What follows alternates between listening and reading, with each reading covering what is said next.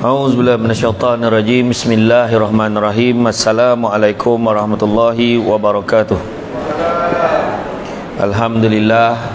Alhamdulillahillazi arsala rasulahu bil huda wa dinil haqqi liyuzhirahu ala dini kullihi walau karihal kafirun walau karihal musyrikun walau karihal muslimun. سبحانك لا علم لنا إلا ما علمتنا إنك أنت العليم الحكيم رب اشرح لي صدري ويسر لي أمري واحلل عقدة من لساني يفقهوا قولي الحمد لله syukur kepada Allah Subhanahu wa taala segala puji bagi Allah Tuhan sekalian alam salat dan salam ke atas junjungan besar Nabi Muhammad sallallahu alaihi wasallam terima kasih banyak diucapkan kepada tuan pengurusi acara kepada barisan div-div kehormat VVIP yang hadir pada hari ini saya tak dapat nak sebut lah kan senarai tak ada. Hmm. MC kau dokut. Siap untuk dia. Siaplah untuk orang nak bercara ni kan. Seterusnya uh, yang saya ingat tadi Cik Isa Cik Zainal Abidin Cik Zainal Cik Zulkifli uh, tentulah Banyak kerana sudi hadir pada apa hadir dan menjemput saya hadir hari ini alhamdulillah. Sempat tadi bersarapan dulu. Terima kasih banyak. Lomang sadap. Kuih kuci pun jajak lah. Kata jajak tu maksud dia sampai lah kan. Tadi saya dah singgah minum kat depan tu. Dia tanya saya sedap tak kata channel saya tak sedap saya jenis terang kalau sedap saya cakap. Tak sedap pun saya cakap terang supaya dia boleh buat penambahbaikan. Roti tolu kau ni kuah tak rasa. Sardin kau manis. Oh bono kau baik roti canai ni kata ha, saya cakap macam tu. Ha, kuah ni biar dia rasa sikit. Masin jangan masin mana. Podeh pun jangan podeh mana. Orang negeri sembilan memang makan podeh tapi tak adalah sampai hilang rasa. Kan apa masalah kupon ni speaker ni menung-menung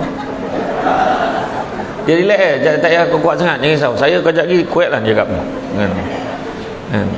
Bak kata orang berjalan-jalan di hujung balai apa berjalan-jalan di atas titi di hujung balai nampak cahaya.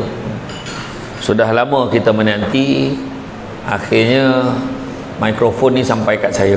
Hmm. Terima kasih banyak. Seperti biasa Pak kata MC tadi kan ramai meramaikan program. Bagus tahniah saya ucapkan. Orang perempuan seperti biasa dia memenuhkan program dengan sangat baik sekali. Orang lelaki ni tak apa kojo eh gama duduk belakang. Saya memang tak faham. Lain kali datang duduk depan. Majlis ilmu ni duduk depan Ni bila anak-anak kita marah suruh dia duduk depan. Kau duduk depan. Kalau kau duduk belakang aku tak dengar. Abah pun sama. Tapi saya faham lah orang lelaki ni duduk belakang sebab dia ada urusan.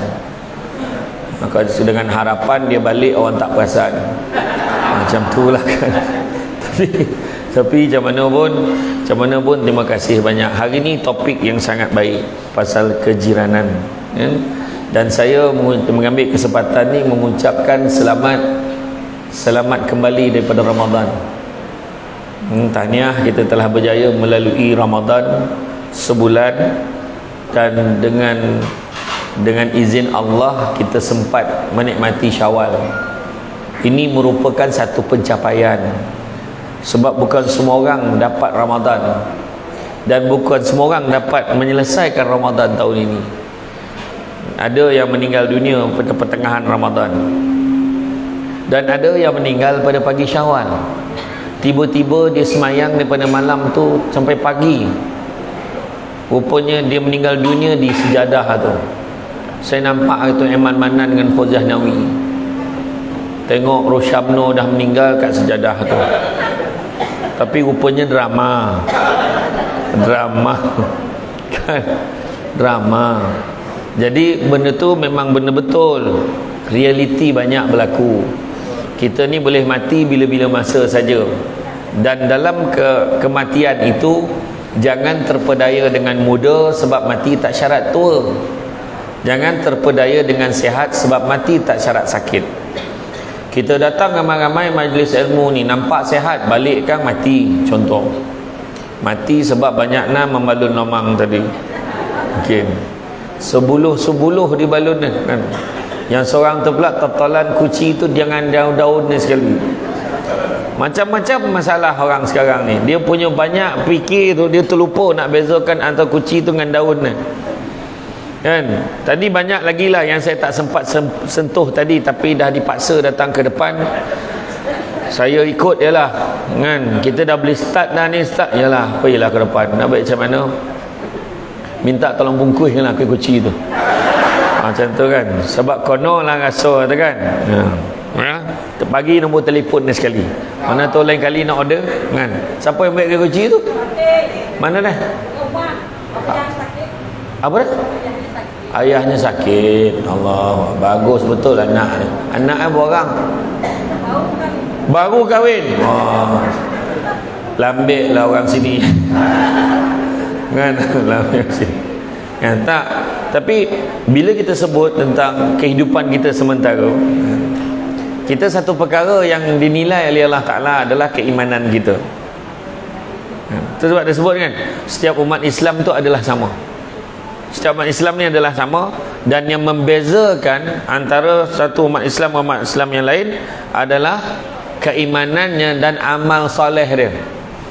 Dan juga ketakwaannya kepada Allah cerita pasal takwa kita dah cerita bulan Ramadan itu tapi keimanan ni macam mana nak kira keimanan ni? Macam mana nak tahu orang tu beriman ke tak beriman? Macam mana nak tahu?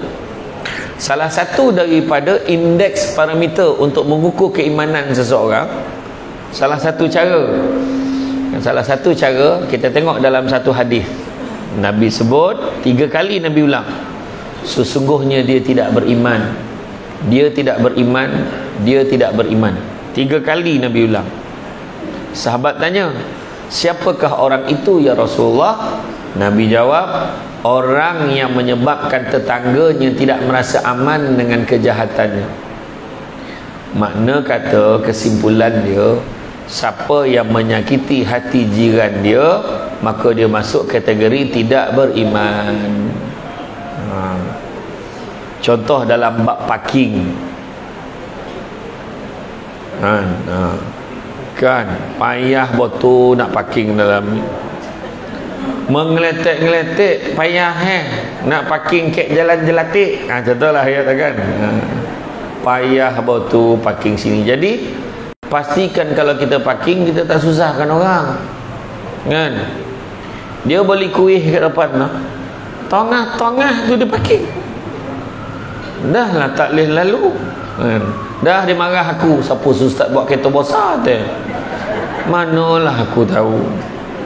Kan? Bila aku naik kereta besar Kau suruh buat kereta kocik Bila buat kereta kocik Apa kocik nak kereta ustaz? Tak buat kereta besar. Salah juga.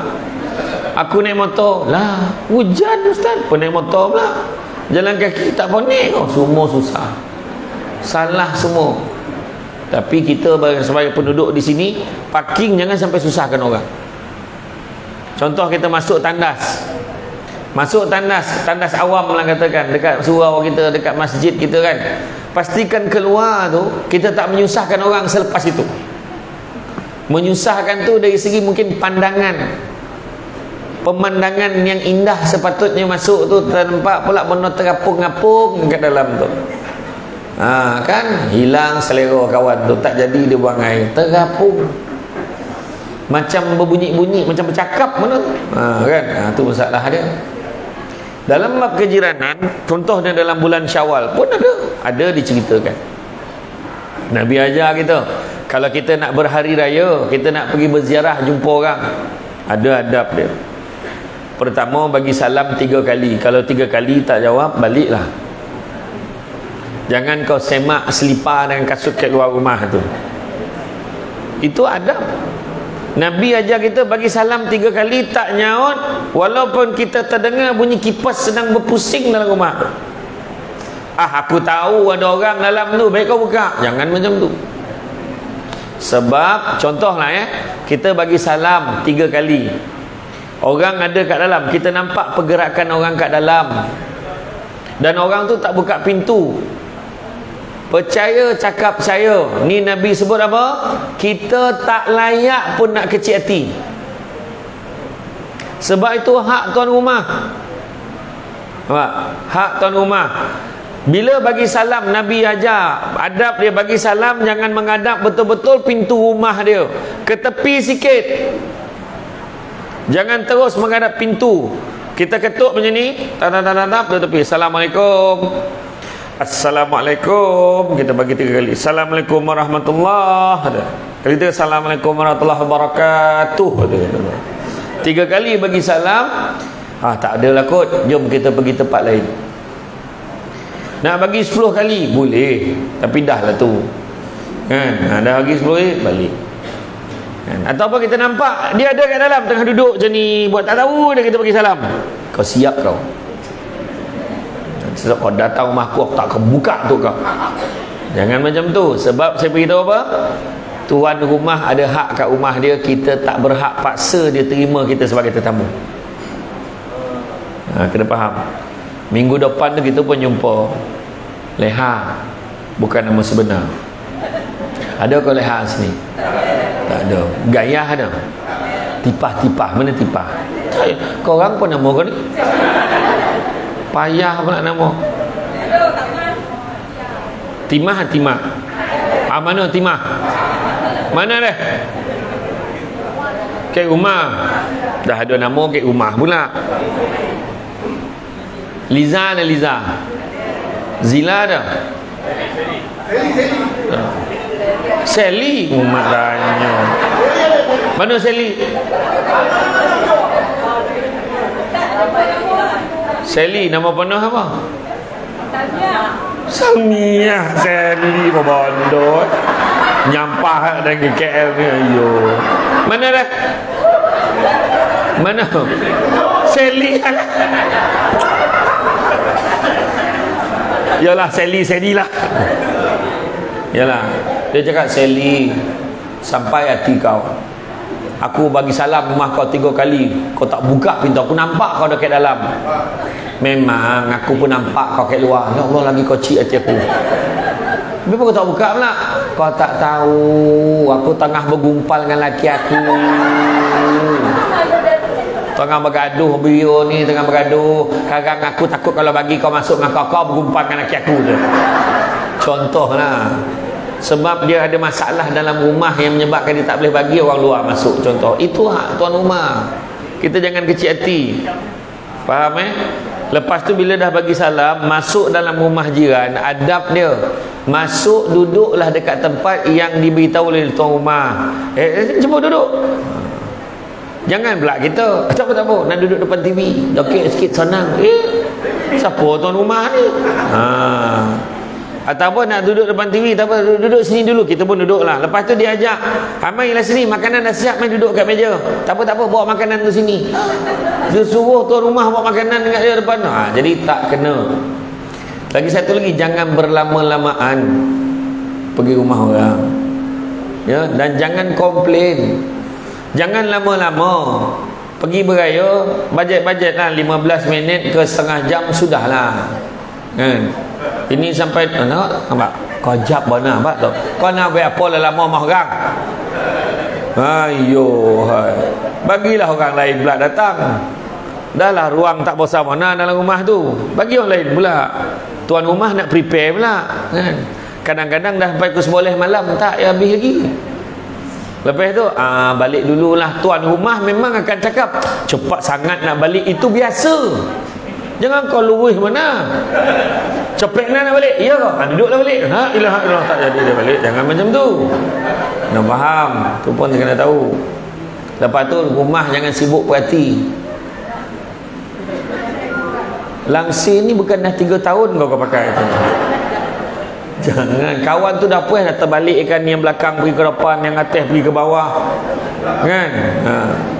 Sebab yang penting sekali kita bersilaturahim. Tu point dia. Dan dalam bab berjiran realiti dunia pada hari ini kita tak boleh lari daripada berinteraksi dengan manusia dengan kawan-kawan termasuklah jiran tetangga.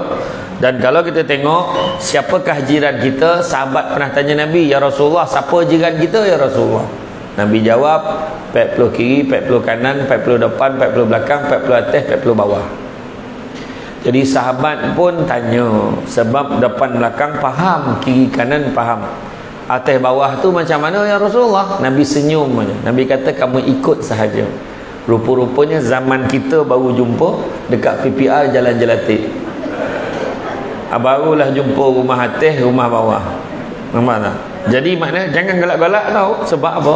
Maksudnya 40 ke atas 40 ke bawah wajib baik Ha, bukan hanya ni kadang tak tahu ha, apa pula dah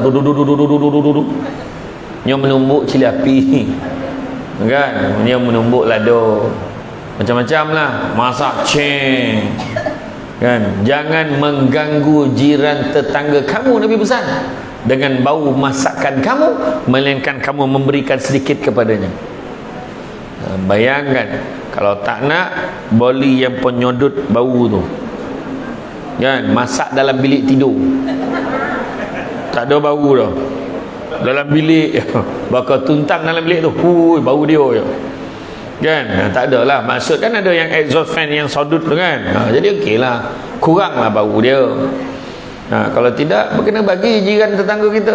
Nabi sampai ajar lah kalau kamu memberi makanan buah-buahan kepada anak-anak kamu jangan benarkan dia makan di luar rumah sebab takut jiran bersebelahan anak jiran nampak dan dia menangis nakkan makanan yang sama. Nampak sampai sampai macam tu sekali ni Nabi ajar kita. Tapi kita hari ni bukan makan kat luar rumah kau share dalam media sosial. Kan? Sadap kuih kuci ni kau ada. Ha, contoh kan nampak? Ha, macam tu masalah kita. Semua benda kita nak share. Nampak? Sedangkan Nabi suruh-suruh kan Kenapa kita nanya? Lainlah kalau kita nak bantu pemasaran.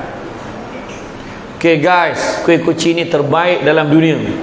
Tak pernah rasa sampai daun-daun pun kau boleh kunyah dia kata. Jadi siapa yang nak sila hubungi talian ni, kita nak bantu dia. Itu tak apa. Tapi tujuan nak nunjuk kau seorang yang dapat kuih tu, ha, jangan. Ya. Ha, hati-hati orang perempuan tu utama.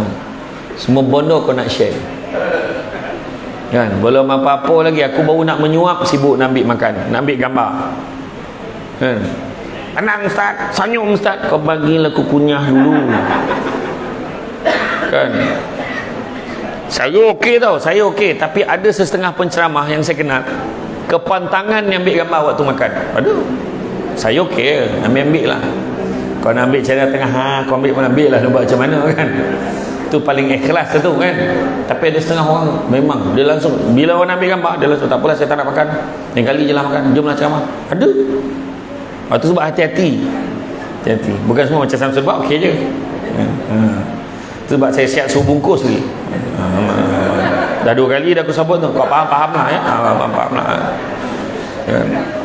jadi kalau kita tengok dari segi tu ya, dari segi itu makna kita wajib baik dengan jiran kita. Tetapi macam mana nak baik dengan jiran? Hampir mustahil kita nak baik dengan 40 kiri 40 kanan. Jangankan 40 kiri sebelah rumah pun tak baik kadang-kadang. Tu belum cerita lagi atas bawah. Atas siapa pun tak tahu. Tiba-tiba atas dah berubah orang pun tak tahu.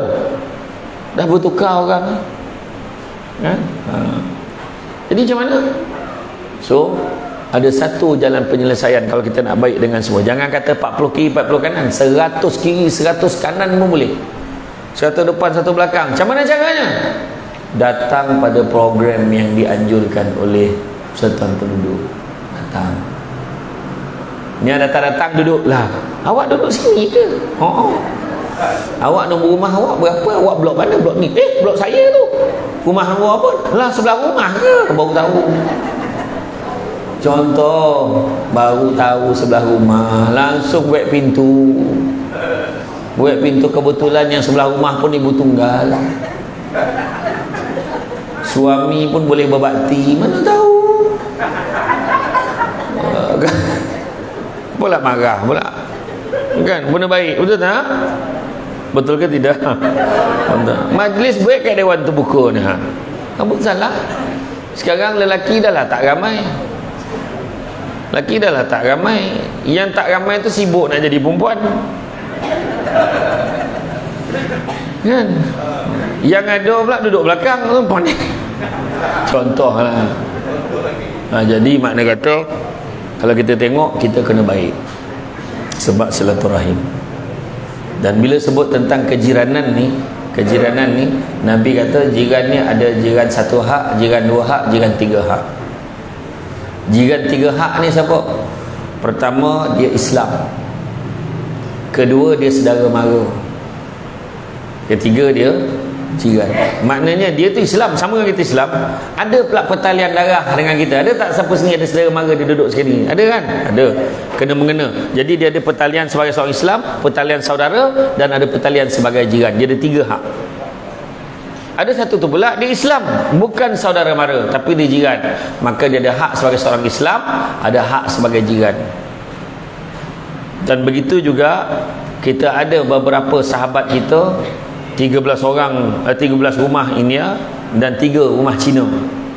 Kan berbangsa Cina. Jadi dia pun ada hak hak sebagai jiran. Contoh buat program hari ni boleh jemput dia datang. Tak ada masalah. Walaupun buat camah kuliah duha jemput aja dia datang mana tahu dia datang dia mungkin tak apa tak apa dia duduk dekat meja makan tu sambil dia dengar ceramah saya. Tiba-tiba terbuka hati dia berkat tempat dia pun cakap saya ingat saya nak masuk Islam. Bayangkan. Contoh mana kita tahu? Nampak kan? Jadi dia ada hak sebagai seorang jiran. Tu sebab jangan kita fikir maka kita ni hanya perlu buat baik sesama kita je termasuk juga yang bukan Islam. Sebarkan syiar kepada orang lain dan bila sebut tentang jiran ni betul dalam hadis yang di awal tadi saya sebut. Saya sebut tentang bagaimana Nabi bagi tahu orang yang menyebabkan tetangga tidak merasa aman dengan kejahatannya maka orang tu tidak beriman. Tetapi Imam Al-Ghazali ada bagi satu lagi guideline iaitu bersabar dengan kerenah jiran juga merupakan salah satu daripada adab berjiran. Sebab kita kena ingat dalam 400 lebih unit rumah yang ada di dalam ni bukan semua orang yang biasa bercampur dengan masyarakat. Ada yang daripada kecil mungkin dia tak biasa bercampur dengan orang. Kita jangan salahkan mereka sebab dia memang tak tahu. Dia rasa hidup dia seorang-seorang dia tak campur orang orang pun jangan kacau hidup dia. Dia rasa macam tu. Tetapi sampai satu tahap nanti dia tetap memerlukan bantuan kita jangan pula kat sana apa kau tahu cari kita orang ha, kau ingat kita orang ni apa? Dah lama kita perhatikan kau. Wah jangan bagi pulangkan paku tu tak. Tapi kita cakap kat dia insyaAllah kami bantu. Dia sendiri kan cakap minta maaf lah saya selama ni memang tak campur sangat. Tahulah saya kerja kan sibuk apa semua. Orang lain pun kerja juga. Bukan macam tu cakap. Yelah tak apalah. Tapi kalau ada masa campur-campur lah kita orang ni. insyaAllah kita orang happy kalau ada kawan-kawan baru nak join kami macam tu bersabar dengan kerana hajiran kena jaga adab. Pertama kena jaga dari segi peraturan rules and regulation kena jaga. Kita tahu tak boleh bolo rimau dengan gajah kat tempat ni janganlah dibolo. Kan? Binatang-binatang yang payah nak bolo janganlah kau bolo. Kan? Contoh kau bolo rimau keturunan rimau lah namanya kucing. Bolo kucing. Kau bukannya bolo kucing yang mahal yang kucing yang pandai berak kat zaman kau siapkan poti tempat berak itu kau nak beli pasir kau letak kat hall. Letak dekat koridor. Koridor tu siapa punya? Walaupun tu depan rumah kau tu bukan hak kau. Itu hanya laluan sahaja kena faham. Ni saya agak-agak lah. Saya agak-agak sebab banyak perumahan Pangsa Puri. Saya pernah jadi pengurusi Pangsa Puri. Tapi flat rumah yang saya duduk tu dia lain lah. Waktu tu masa tu saya ingat masa tu Tun Abdullah Ahmad Badawi rasmi kan. Saya ingat lagi masa tu saya diminta jadi pengurusi sementara je sebelum rumah saya siap. Masa tu saya bekerja sebagai legal advisor pengarah undang-undang poning kepala saya masa tu. Macam-macam. Terutama hari bagi bantuan. Hari bagi bantuan penuh dewan betul tak? Semua mengaku susah. Ada satu program bantuan bank rakyat. Bantuan zakat bank rakyat. Suami tu cakap bini dah mati. Bini cakap suami sakit tanat. Laki bini dapat bantuan. Membohong nipu duit zakat ada orang macam tu dia bukan miskin duit ni miskin iman sekali. Dia tak takut nak ambil hak orang tak takut. Susah menangis pandai lah tu. Jumpa Datuk Jo. Oh, susah. Tak tahulah macam mana nak buat. Astro full package rumah tu. Parking kereta menyala-nyala saya tahulah. Tak usah lah trik-trik tu aku tahulah. Macam kucing tadi kebahagiaan koridor ruang laluan tu bukan milik pemilik rumah yang kat depan dia tu tak tu milik semua orang lagi satu, bila kita membela binatang yang bernama kucing, binatang kesayangan Rasulullah, tapi kita tak jaga betul-betul, kita berdosa. Jaga kucing, kau kurung dalam tu, kau biar berak ada berminggu-minggu. Kau patut beli pasir yang jenis bau dia bau wangi tu. Ada pasir tu berak kucing tu tak bau. Kau tak nak beli sebab mahal kau beli pasir biasa tapi kau tak tukar maka berdosalah kamu kepada jiran-jiran tetangga sebab tak jaga hak jiran dan kucing pula bila terdedah dengan najis dia tu berhari-hari dia juga terdedah pada penyakit. Berdosa pula pada binatang kesayangan Rasulullah SAW kau malih kau ambil pasir-pasir dengan taik-taik tu kau bungkui kau baling ke bawah pula. Ha, itu pun perangai orang kat tempat lain. Jalan jelatik tak ada tempat lain. Janganlah cakap ada orang dengar ni cakap tak ada. Ya, contoh ha, contoh ha. Contoh. Kan? Benda tu juga dari segi kemaslahatan. Kita tak memikir hubungan. Hablum minallah hablum minan nas. Jaga hubungan dengan Allah jaga hubungan sesama manusia pun kena jaga. Tu sebabnya kita nak buat apa-apa kena fikir jiran. Macam rumah flat kan rumah teres dekat luar sana. Rumah teres. Nak naik tembok kena minta izin jiran sebelah cakap saya nak buat tembok sikit sebelah sini. Oh ya ke? Allah Akbar ya ke? Habis macam mana? Itulah saya minta izin. Tapi nanti insyaAllah belah sana pun saya akan slapkan sekali. Oh iyalah terima kasih banyak. Ini belah dia slap. Belah orang tu batu-batu. Biar nampak eh berbolang-bolang batu tu. Ha, nampak? Kena fikir orang sebelah. Kau dah tahu rumah ni tak bosan mana? Kau marah bini kau pun orang sebelah ha? kan kau dalam bilik tidur pun kena sanyap-sanyap dengan bini kau. Takut orang sebelah terdengar. Batu dinding tu batu angin. Mengeluh. Aduh tu pun dengar. Pahal Rupa kawan tu bercerita Habis semua dia dengar. Pening kepala lah Anak kita nak sekolah Nak duit tu nak duit ni. Abang dah lah job tak ada ni. Dia pun dengar sebelah Pening nangis dengar. Sian dia sian Tak dengar Dengan tahap tu Bising tak dengar Kau boleh karaoke pula Dah lah bila kau nyanyi Bila sampai tang chorus tu Sedara mara pun tak larat nak dengar. Ni kan pula jiran tetangga. Kau pilih lagu Korea pula tu. Aduh. Contoh kena fikir kemaslahatan